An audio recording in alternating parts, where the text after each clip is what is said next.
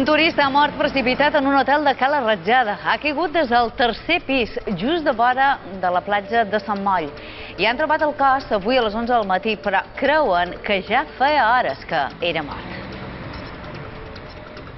La Guàrdia Civil n'ha obert una investigació. L'home estava passant les vacances a Mallorca amb la seva dona, que és qui ha trobat el seu cos. I a Eivissa, sis cotxos han quedat totalment calcinats en aquest incendi al barri d'Esviver.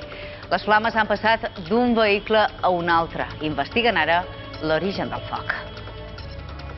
La Guàrdia Civil subhasta 900 armes de propietaris que han renunciat.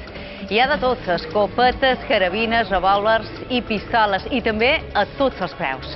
Dilluns que ve, els interessats poden visitar l'exposició pública al quarter de Palma. I eminències del tatuatge, arribades des de distints punts del món, es donen cita que cada setmana a Eivissa en la primera edició de la Tattoo Convention. D'aquesta manera, l'illa es vol col·locar en el mapa internacional del tatuatge. És tot per ara. Tornem amb més notícies a les 8 i mitja aquí al Notícies Vespre.